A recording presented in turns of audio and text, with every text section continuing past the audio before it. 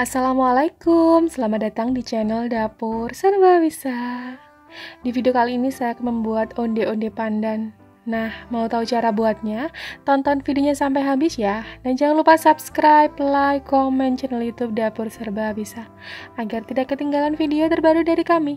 Terima kasih. Langkah pertama kita menyiapkan isian kacang hijaunya terlebih dahulu. Di sini saya sudah menyiapkan 250 gram kacang hijau kupas yang sebelumnya sudah saya rendam air terlebih dahulu ya. Ini saya rendam air selama kurang lebih 3 jam. Nah, kemudian saya sudah menyiapkan kukusan dan ini kukusannya sudah panas. Kita kukus kacang hijau kupasnya ini selama 30 menit atau sampai matang menggunakan api sedang.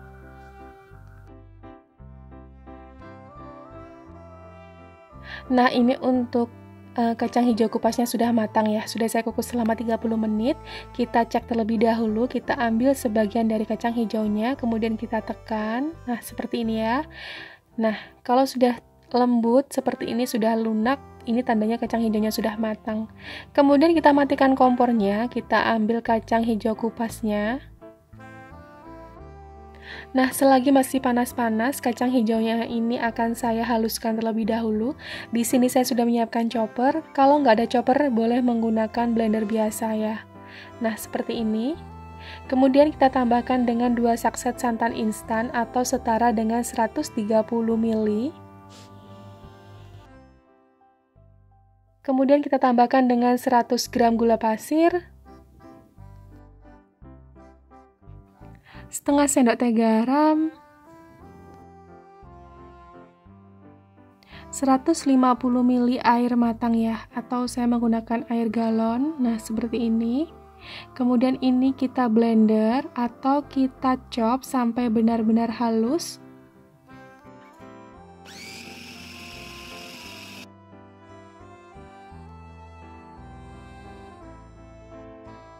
Nah, hasilnya seperti ini ya. Ini sudah halus dan ini sudah cukup. Kemudian kita letakkan uh, kacang hijau yang sudah kita chop tadi ke dalam wok pan. Nah, seperti ini. Dan kita tambahkan dengan satu lembar daun pandan yang sudah disimpul. Dan ini siap untuk dimasak. Masak kacang hijau atau isian ini menggunakan api kecil aja agar bagian bawahnya itu nggak mudah gosong ya. Jangan lupa untuk terus diaduk agar bagian bawahnya itu nggak gosong. Kemudian kita masak isian kacang hijau ini sampai benar-benar membentuk suatu uh, adonan yang benar-benar padat ya dan mudah dipulung. Nah ini sudah mulai padat tapi ini masih basah. Terus kita masak dan kita aduk-aduk ya.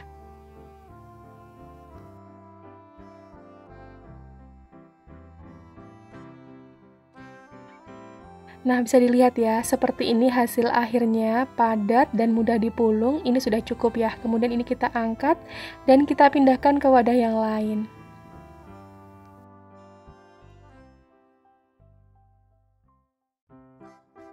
Kemudian ini kita tutup menggunakan plastik agar bagian permukaan atasnya itu nggak mengulit atau mengeras ya.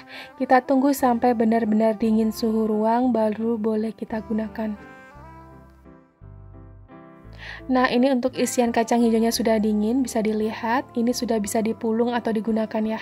Kemudian untuk isiannya ini saya timbang dengan berat 15 gram agar nanti isiannya itu benar-benar pas dan sama ya. Nah, seperti ini. Kita timbang dan kita pulung seperti ini, kemudian kita letakkan di adah yang kedap udara atau food container ya.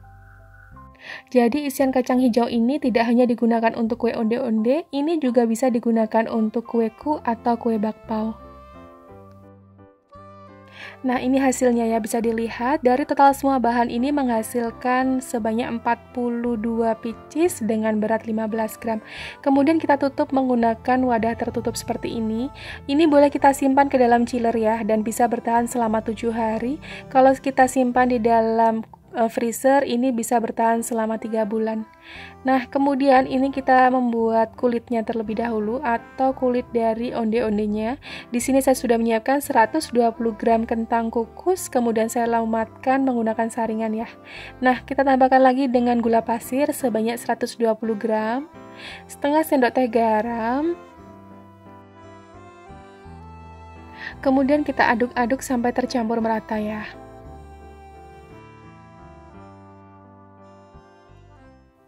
Nah, setelah tercampur merata, kemudian tambahkan dengan 400 gram tepung ketan. Nah, seperti ini saya bagi menjadi dua bagian ya untuk memasukkan tepung ketannya. Nah, kita aduk-aduk dulu asal tercampur merata. Kemudian tambahkan lagi sisa dari tepung ketannya, kemudian ini kita aduk-aduk sampai tercampur merata.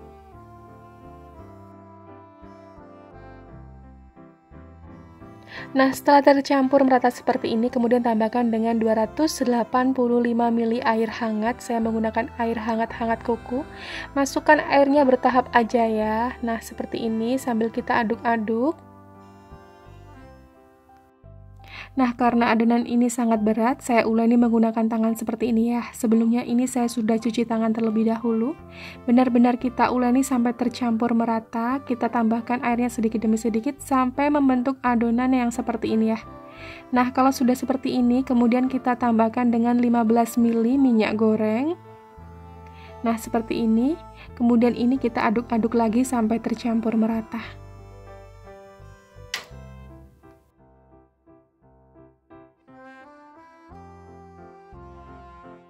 Nah ini sudah tercampur merata ya bisa dilihat adonan akhirnya seperti ini ya jadi nggak terlalu keras dan nggak terlalu lembek Nah, seperti ini harus benar-benar pas. Kemudian di sini saya sudah menyiapkan pasta pandan. Saya berikan pasta pandan secukupnya. Nah, seperti ini. Kemudian saya tambahkan dengan sedikit pewarna kuning tua ya. Jadi nanti warna yang dihasilkan itu seperti hijau cerah ya. Nah, seperti ini. Kemudian ini kita uleni lagi sampai benar-benar tercampur merata.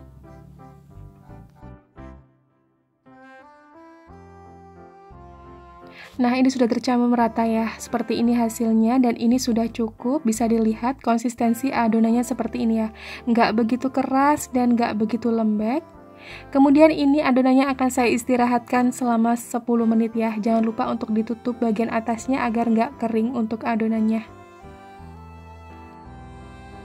Nah, ini untuk adonannya sudah saya istirahatkan selama 10 menit ya. Ini sudah bisa digunakan, sudah mudah dipulung ya. Kemudian untuk kulitnya ini akan saya timbang dengan berat 24 sampai 25 gram. Nah, seperti ini. Setelah selesai kita timbang, kemudian kita pipihkan untuk kulit onde-ondenya. Nah, seperti ini ya. Kita pipihkan sampai benar-benar pipih. Setelah selesai kita pipihkan, kemudian kita ambil isian kacang hijau yang sudah kita bulatkan tadi, atau sudah kita pulung. Kemudian kita bungkus isian kacang hijaunya menggunakan kulit dari kulit onde-ondenya, nah seperti ini. Kemudian kita pulung, nah seperti ini sampai bentuknya bulat. Kalau sudah seperti ini, kemudian kita masukkan ke dalam wijen. Nah, seperti ini ya. Untuk wijennya ini saya menggunakan kurang lebih 100 gram. Nah, saat kita masukkan ke dalam wijen sambil kita tekan-tekan seperti ini ya, agar wijennya itu nggak rontok saat kita goreng nanti. Nah, seperti ini. Bisa dilihat ya. Nah, ini sudah jadi, seperti ini hasilnya, kemudian kita sisihkan terlebih dahulu.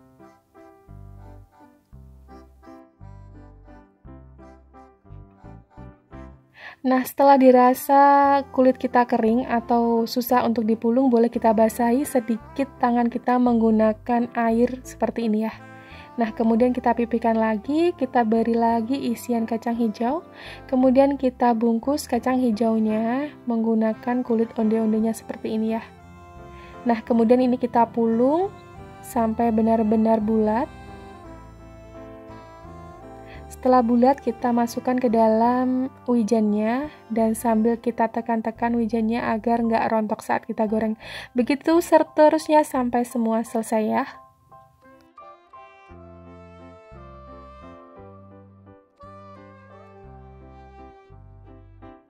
Nah, ini kue onde-ondenya sudah selesai dipulung. Dari total semua bahan ini menghasilkan 34 pieces kue onde-onde dengan berat isian 15 gram dan berat kulitnya 25 gram. Kemudian kue onde-onde ini akan saya bagi menjadi dua bagian. Satu bagian akan saya simpan di dalam chiller menggunakan food container kedap udara seperti ini ya. Dan satu bagiannya lagi akan saya goreng langsung. Nah, seperti ini penyimpanannya di dalam uh, chiller ya atau kulkas. Kita simpan ke dalam kulkas dan kita goreng besok harinya. Nah, sebelumnya ini saya sudah siapkan minyak ya, dan minyaknya ini hangat dan cukup banyak. Kemudian untuk pengaturan apinya saat menggoreng onde-onde itu harus api kecil ya, agar minyaknya itu nggak panas. Karena kalau kita menggunakan minyak panas menyebabkan onde-ondenya itu bantat dan nggak mau mengembang. Nah, seperti ini, setelah minyak hangat, kita masukkan kue onde-ondenya secukupnya aja, jangan terlalu penuh, karena kue onde-ondenya ini nanti akan mengembang. Nah, seperti ini ya. Nah, setelah muncul buih-buih seperti ini, kita terus bolak-balik onde-ondenya ya, agar matangnya itu merata, nggak gosong satu sisi. Nah, seperti ini. Jadi saat menggoreng kue onde-onde ini harus benar-benar sabar ya, dan jangan ditinggal-tinggal. Terus kita aduk-aduk sampai kue onde-ondenya ini mengembang dan matang. Nah, seperti ini ya. Bisa dilihat ya, kue onde-ondenya ini sudah mulai mengembang. Kemudian kalau sudah mulai mengembang seperti ini, kita eh, tekan-tekan uh, atau kita putar-putar seperti ini. Ini bertujuan agar kue onde-ondenya nanti benar-benar bulat dan kopong ya. Nah, seperti ini sambil sedikit kita tekan dan kita putar-putar seperti ini. Nah, bisa dilihat ini kue onde-ondenya sudah mengembang. Nah, seperti ini ya. Uh, kue onde-onde kopong itu bisa ditandai saat kita goreng, onde-ondenya ini akan terapung seperti ini. Nah, seperti ini. Nah, ini kue ondenya sudah matang ya, sudah kokoh, sudah mengembang. Dan ini akan saya angkat, kemudian saya tiriskan. Nah, seperti ini ya, bisa dilihat cantik banget warnanya. Nah, ini hasilnya benar-benar kopong dan mengembang. Nah, seperti ini ya. Kemudian ini saya tiriskan terlebih dahulu. Untuk menggoreng kue onde-onde berikutnya, ini apinya kita matikan terlebih dahulu. Nah, seperti ini. Kemudian kita ambil sisa dari wijannya agar nggak gosong ya. Nah, seperti ini. Setelah minyaknya hangat, baru kita menggoreng kue onde-onde berikutnya. Begitu seterusnya sampai selesai ya. Nah ini dia kue onde-onde pandanya sudah jadi. Bisa dilihat cantik banget warnanya dan ini kokoh mengembang. Bisa didengar ya ini garing banget dan kokoh banget. Saya akan buka ya bagian dalamnya seperti apa?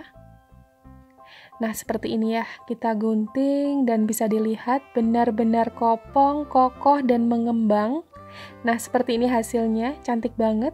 Dan aroma dari pandan onde-ondenya itu benar-benar wangi banget ya. Saya akan cobain gimana rasanya. Bismillahirrahmanirrahim. Hmm. Masya Allah ini enak banget ya. Manisnya pas, gurih. Ini renyah, lembut. Ini enak banget ya. Hmm. Ini cocok sekali buat ide jualan. Selamat mencoba di rumah ya. Terima kasih sudah menonton. Semoga video ini bermanfaat dan sampai ketemu di video-video kami selanjutnya. Terima kasih.